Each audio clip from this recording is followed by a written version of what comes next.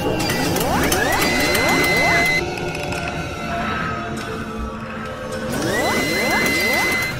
everybody, my name is Ebony Tate and I'm at Jack Astor's at Square One. Today I will be interviewing 2014 NBL first round draft pick Jordan Weidner and I'll also be interviewing veteran and record breaker Tut Ruach. So let's go inside, get some eats, do some chatting, and talk about the playoffs this season and how the guys are feeling. Let's go inside and do this.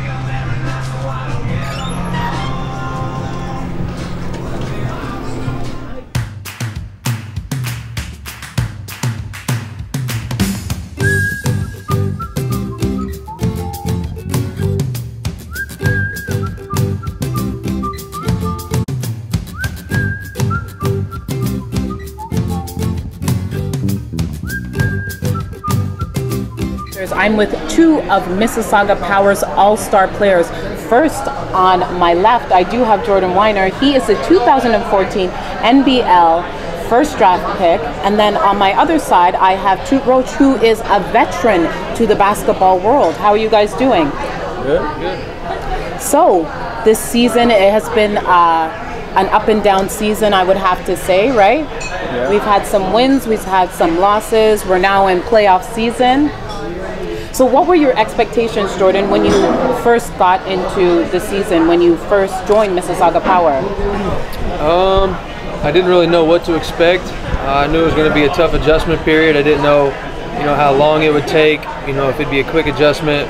Um, I mean, it's been it's been fun. You know, it's been a really really fun year of basketball. I feel like I've grown a lot, not only as a player but as a person. Especially a different confidence being a pro as to being in college. So Yeah. I think that's kind of been the hardest thing to figure out is you know the confidence of coming to work every single day.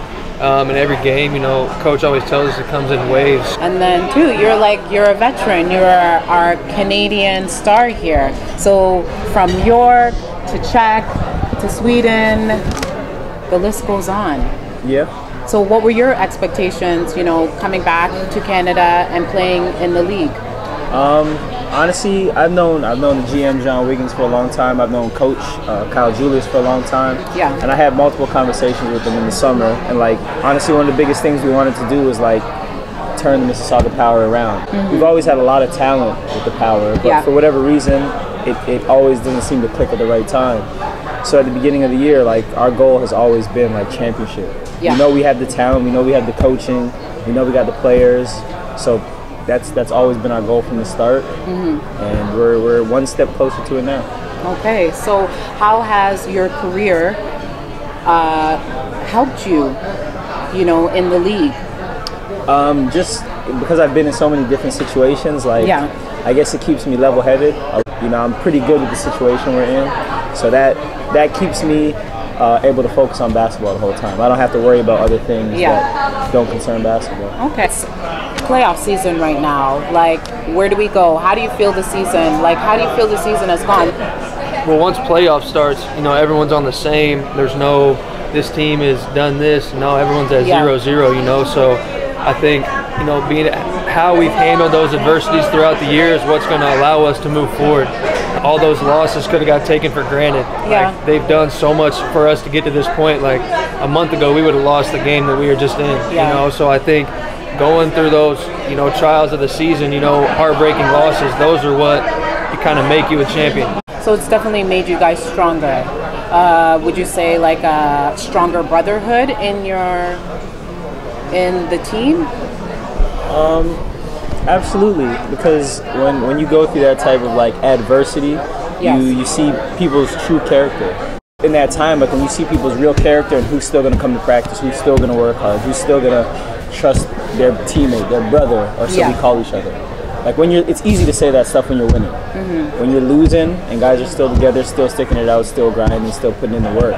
That's when you form like a real brotherhood because you mm-hmm. know even when things aren't going well, you know who has your back and who's gonna come to play every day. Okay, so talking about putting in the work, you've put in some work. 48 points last game. You're setting a record here. How does that feel? Um, it just honestly, I fouled out of that game with like three minutes left, and I started to cry because I was like, if we lose this game, then it's all for naught. Did you cry? Yeah, because I mean the season's on the line. We're up Yeah. a few. We've lost games like that all year. Okay. So it was like that. That was probably the best feeling, is like knowing that we could still win that game, knowing how we've lost that exact same way all year. That was probably like the best feeling. Okay. So when we started our third game, it was 2 and 0. Like, how did you feel going on to the court? Like, how did it feel to you? Because we're thinking maybe this could be our last, this could continue. Like, how did you push through that? me personally, um, I've never been more excited for a game in my life. You know, just because there's something special about being an underdog, doing well when no one thinks you can or no one thinks you will. So, you know, again, I think it all just comes back to the mindset of, you know, guys on the court, you know, refusing to lose and, you know, being a warrior every possession and not letting anything that's said or doubted or, you know, thought about you matter. All that matters is each possession at a time. So Yeah. I thought it was huge. So, when we speak about coaching, this is your first year with Kyle, and you have been coached before or worked with Kyle. Yeah. So, how do you enjoy his coaching techniques? Or do you enjoy his coaching techniques? No, Wow. I've actually really enjoyed the coaching. Yeah. You know, like you, like every. I mean, there's been a lot of ups and downs. You know, Mm-hmm. coach has been pretty hard on me, but you know, a lot of people can get down on that. I take it as a compliment. And I think me and coach are similar. Um, very intense, very competitive. And I think that's kind of been what's allowed us to get along so well through the Mm-hmm. Yeah. season. And you know, like I said earlier, he has been hard on me, but you know, I've enjoyed every second of it. And you know, luckily for me, I've been able to you know mentally get through it and just constantly remind myself every day, like you know, listen to what he says, not how he says it. Yeah. You know, so you know, I feel like personally I'm playing, you know, good basketball right now, and I think Yeah. that all goes back to, you know, how coach has been, you know, our relationship this whole year, and you know, kind of how he's coached me throughout the whole season. Confidence is the biggest thing I've, you know, learned how to adjust at this at this level, you know, and I feel like my confidence is pretty close to an all-time high right now. So, just now learning how to maintain that confidence and not mm-hmm. letting it, you know, go up and down with, you know, being out of the game or a missed shot, you know. So, I mean, it's going to definitely be a challenge, but who doesn't like those, you know? Yeah, true. And yourself? How do you feel coach has helped you? Um, I've worked with him for so long, so like a lot of the stuff we were doing, I was already familiar with. Okay. But I think like one of the biggest things to his credit is he hasn't treated me different than any of the other guys. Like there's there's been no favorites. Yeah. Um, and that's with everybody. Like Jordan was up and down all year, and look at Yeah. him now. I've been up and down all year, and you know, look at me now. So Look at you now, 48 points later, right? you're Setting making records. you're making me lose a bet right now. Why, what's the bet? Jordan bet. You'd ask me that or talk about 48 points within like. Oh, three- really? Yeah, I already Okay. lost. You lost? Yeah. Okay. So let's talk about your training. What does your training in, like entail for the season? What does it entail for? It has it changed for the playoffs? Honestly, our train that's that's actually one of the reasons. If you look at last game, we, we played with seven players. We Okay. had like five guys play Yeah. 40 minutes, and that's a testament to the training that we do every day in practice. Yeah. Like I, people have come to our team and they're like, "This is how you guys practice every day." Like they're actually shocked because we do like a lot of skill and development, a lot of Yeah. cardio work. We're all in shape. We're gonna be in shape after the season. So, yeah, our tra- our training regimen is very very good. Very good. Okay. And we're back. We got our food. What did you get? Buffalo chicken salad. Nice. What did you get? Sauced up buffalo chicken strips. Okay, so would you say that's kind of the makings of a champion? This is the kind of food that champions eat? Absolutely. Yeah? I mean, you gotta take care of your body on and off the court. Yeah. So I got the iced tea, so I'm cheating a little bit, but Jordan has straight water. so. Okay. well, I got the shrimp because I'm not in the playoffs. So, so let's do some playoff talk here. So, how has your game improved during the playoffs? Um, It's just been a complete, you know, mental shift. Game three was bananas. If you weren't there, guys, game three was an amazing game. The Mississauga Power came back and won to, let's say this again, Mr. 40. I'm just going to call you Mr. 48.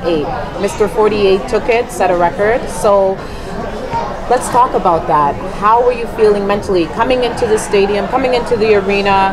How did you guys prepare?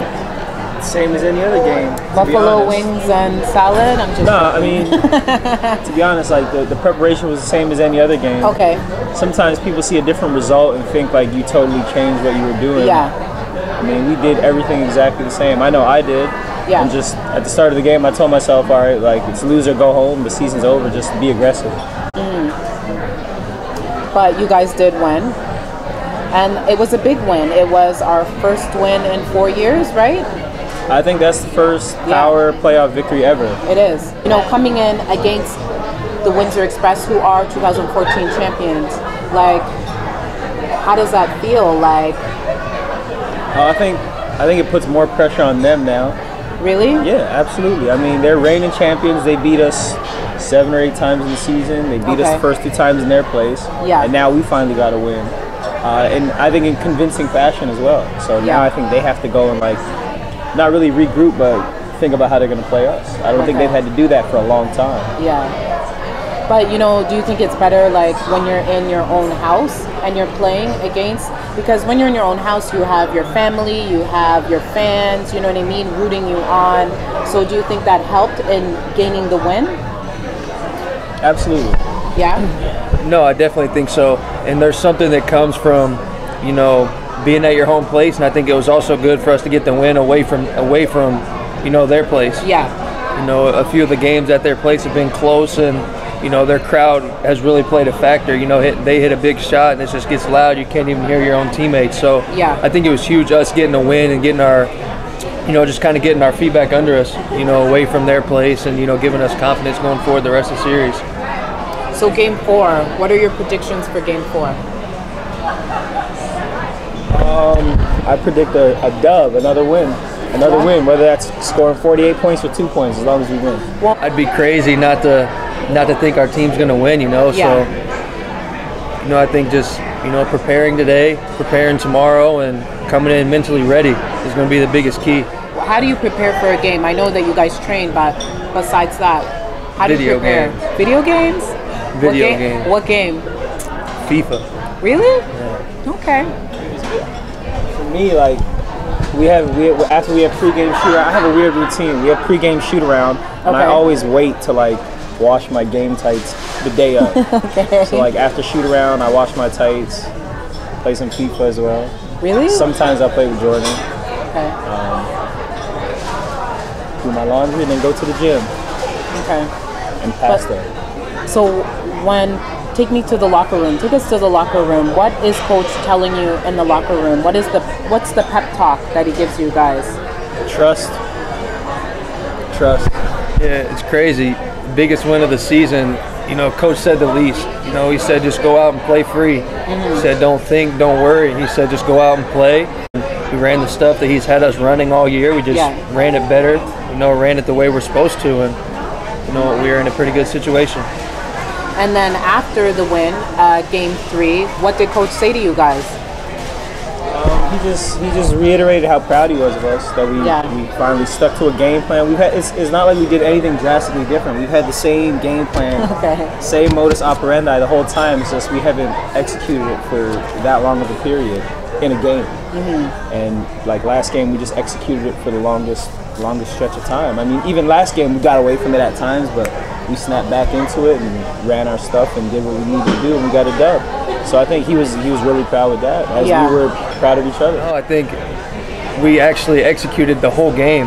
Like Okay. other games will execute for 75, 80%, and then the mm-hmm. last 20% is the last eight minutes of game when we'd end up losing. Yeah. You know, I think every second of the game we stuck to the principles and the like the game plan. The, like Yeah. literally every second. Okay. You know, and to put us in a good situation. So, you know, losses throughout the year weren't necessarily coaching or you know the right guys or wrong guys being on the floor. It was Yeah. us getting away from the whole you know game plan of the game. You know, and coach gives the analogy if he gives you a map that goes somewhere and you say, "Oh, I'm going to go my own way without the map," Yeah. like you're not going to get anywhere. Yeah. You know what I mean? So that's kind of you know something that puts it in, per- into perspective for someone maybe not necessarily in the locker room of we have a blueprint and a game plan of what to do, and if we don't do it, you know, chances are it's not going to go very well. All right, guys. So uh, we're done our food. How was the food? Wonderful. Very good, very good. Yeah, so if you ever want to get some grub, looking for something great to eat, come by Jack Astor's. But also, you may bump into Jordan, who is, again, 2014 NBL first round draft pick, or Mr. Record Breaker to Road 48 points. You never know what could happen. But playoffs is coming. Well, playoffs is here. We are in our fourth game on Tuesday, right? So Uh, come check us out Tuesday night, 7:30 at the Hershey Center. Get your tickets at the Hershey box office. If you want to find more information on Mississauga Power Basketball, check out powerbasketball.ca. Hope to see you on Tuesday. Kids 18 and under free if you wear a Wow. green shirt for St. Patty's Day. I quit. I'm done. What can I say, man? It's a blessing from God.